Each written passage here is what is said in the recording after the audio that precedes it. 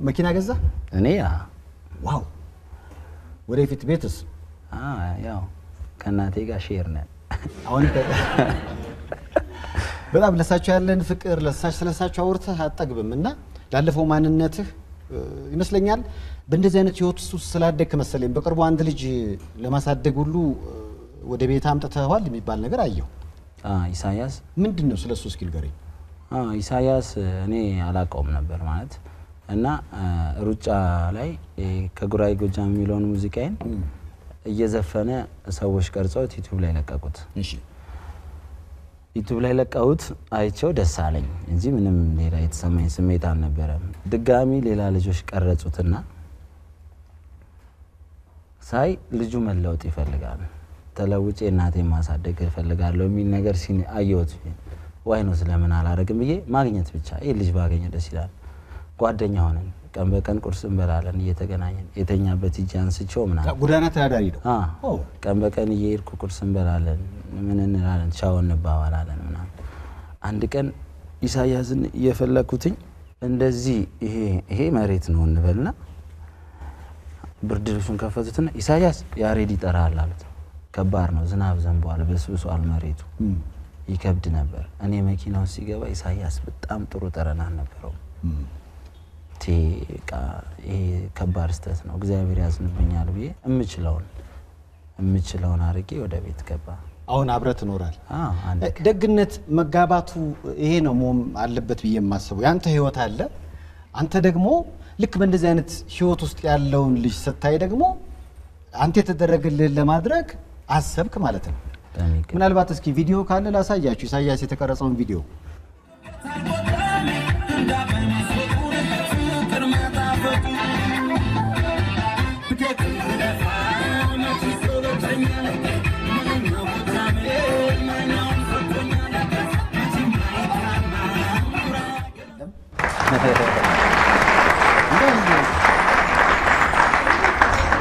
ኢሳያስ ነው ወደ መድረክ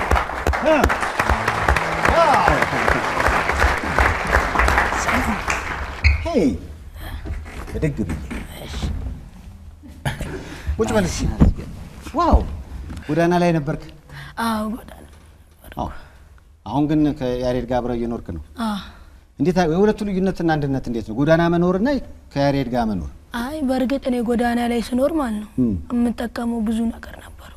አደንዛዥ ቅርጽ ማለት ነው ማስቲሽ፣ ሲጋራ ምናምን ጠቀም ነበር እና በምኖር ሰዓት አንድ ቀን የሴቶች የታላቁ ሩጫ ዕለት ማለት ነው ያሬድ ዘፈን ተከፍቶ እየተጨፈረ ነበር።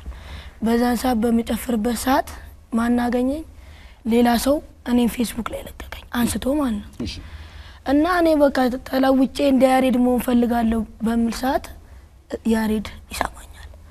እና ያሬድን እወደዋለሁ፣ አከብረዋለሁ። ከመሬት አንስቶ እስካሁን አሳድጎኛል፣ ተንከባክቦኝ። wow! thank you በጣም። አሁን ጥያቄ ማስቲሽሽ ማስቲሹን አቆምኩኝ። ቤንዚኑስ? እሱንም እሱን ተጠቅሜ አላውቅም። እሱን እውነት ማርያም? ማስቲሹን ብቻ? ማስቲሽ ብቻ። ማስቲሽ ብቻ አሁን ትቆጣጠረዋለህ ሁለቱን ነገሮች እንዳይ እንትን እንዳይል እንዳይ እንዳይነ አዎ ማለት ዝም ብሎ አቁም ማለት ይከብዳል። ብዙ ነገሮችን አሳልፏል። የሚፈልገውን ነው ማድረግለት። እኔ የምፈልገውን አይደለም በዚህ ጊዜ ማድረግለት። ግን እኔ ቤት እያለና ውጭ አንዳንዴ እንደውም እኔና ኢሳያስ ተጣልተን ተወይም በቃ ብሎ ውጭ የሚያድርበት ሰዓት አለ። ከዛ ይበርደውና ይቅርታ ይላል። ለምን? ግድ ነው። በአንዴ እዚሁ ቦታ ሆነ ማለት ይከብዳል። እረዳዋለሁ ስሜቱ ተጋግዘን ያስብልኛል።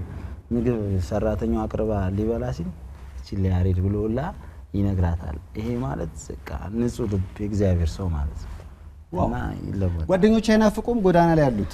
አይ አንዳንድ ቀን እነሱ ጋር እየሄድኩ ውዬ እመለሳለሁ። እነሱ ጋር አ ትሄዳለህ ምን ይላሉ ሲያዩ እድለኛ ነህ ይለዋል ወይንስ እንደዚህ ይሉኛል። እኔም እናንተ ጋር አንዳንድ ቀን ልደርስላቸው፣ አይ አትደር እኛ ጋር እኛውን የሚረዳንም ሰው አላገኘንም። አንተ ግን ተለውጠ አድገ እኛ ጋር መተኛን ብትረዳን ለእኛም ጥሩ ነገር ነው። አንተ ከወጣ ግን ማንም ሊረዳን የማይችል ሰው አለ እያሉ። አሁን ትምህርት ጀመርክ አይ ገና አበባ ተምረህ ምን መሆን ትፈልጋለህ ተምሬ ተለውጬ በቃ ከእናቴ ጋርም ተገናኝቼ እናቴን የመርዳት እናት የት ናቸው? እናቴ አሁን ደብረ ዘይት ነች ለስራ ማለት ነው። ጎዳና ላይ እንደወጣ ያውቃሉ? ታውቃለች ግን በቃ እኔም እሷ ጋር ሲሄድ ማለት ነው እማገኛት አብዛኛውን እህቴ ብቻ ነው እና ከእህቴ ጋር ደግሞ አልስማማም ባሏ ምናምን በቃ በውጭ አግኝቻት አንድ ቀን አድሬ ነው በጠዋት ቦታ ስለዚህ ጎዳና ላይ ወጣ። ጎዳና ላይ ወጣ። ያችን ዳንስ ደነስክ። እስኪ እንደገና ደንስልኝ። እስኪ ደንሳት እስኪ ያችን ዳንስ። አሁን ማስሽ አቁማል። አሁን ምንድን ነው የሚያጓጓ? እኔ በቃ መማር ነው በጣም እኔ አይምሮ ላይ ያለው እና መለወጥ ነው በእርግጠኝነት ነው የምነግርህ። አንተም ተለውጠ፣ ምክንያቱም ልክ እንደሱ እንደተለወጠው ሌሎችን ትለውጣለህ ብዬ አስባለሁ። እና ራስህን ማሳመን ነው። አሁን ከነበርክበት አስቀያሚ ህይወት በአጋጣሚ የገባህበት ነው አይደል? ልክ እንዳንተ ብዙዎች አሉ። አንተም ደግሞ ልክ ስትለወጥ ሌሎችን ስለመለወጥ ታስባለህ አይደለም? አዎ፣ እግዚአብሔር ይርዳል። እዛ እሺ።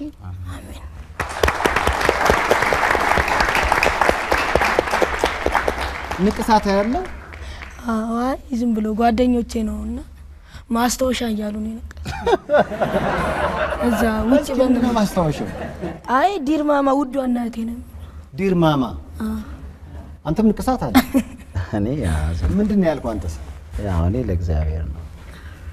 wow አንተ ማስታወሻ በቃ እናትህን አትረሳ። አዎ እናቴን የማስታውስበት ብዙ ልጆች ጎዳና ላይ ያሉ የብዙዎቹ ምክንያት ምንድን ነው? አንዳንዱ አሁን ምክንያት አላቸው። አንዳንዱ ከቤት ተጣልቶ አለ። አንዳንዱን እናት የሌለው ላይ አለ። አንዳንዱም በጥጋብ የወጣ አለ።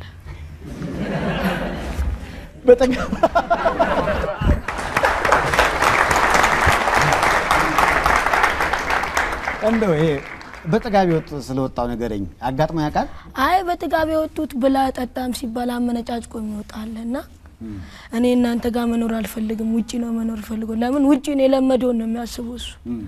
ውጪ መኖር ነው እንጂ ፈልገው ቤተሰቦቹ ጋር አንድ ላይ ሆኖ መኖር አይፈልግም። እኔ አሁን ሁላችሁንም አንድ ላይ አሁን የጎዳና ተዳዳሪ ሲባል ሁሉንም እንትን አድርጎ የማሰብ ነገር አለ።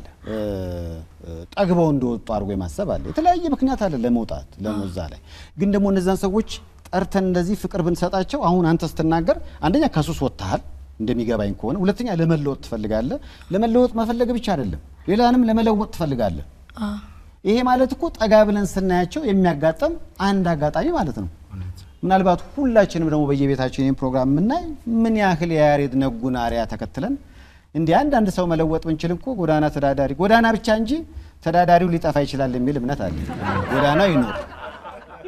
እኔ ያሬድን ደግሞ መወደው በእርግጥ የወደድኩበትም ለእኔ ብቻ ለጓደኞች የሚያስባል። ለእኔ ብቻ አድርገው ለእነሱም ብር የሚሰጣቸዋል ምግብ የሚያበላ።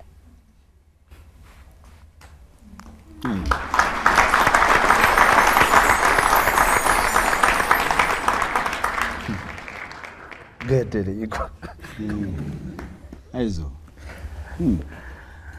ያሬድ ምልህ አሁን ስትሰራ ምን ስትልም ታስበዋል አይደል? እሱ? በጣም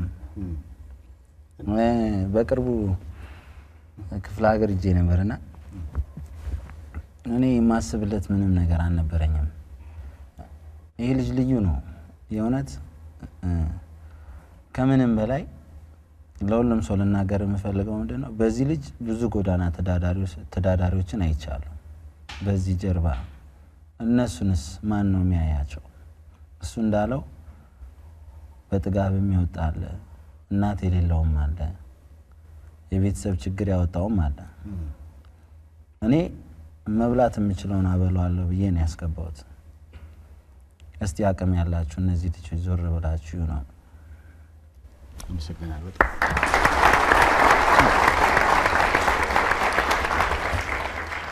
አንድ ቀን ትልቅ ሰው ሆነ አንተም ልክ እንደ ያሬድ ነጉ በሆነ ሙያ ላይ እዚህ እንግዳ የሆነ ልክ እንዳንተ ደግሞ ሌላ ጎዳና የወጣን ወይም ደግሞ በሌላ ችግር ላይ ያለን ሰው ስትረዳ ለማቅረብ እግዚአብሔር ያብቃኝ ለማለት ነው። አመሰግናለሁ። ዩ ሸኙት ኢሳያስን እባክህ።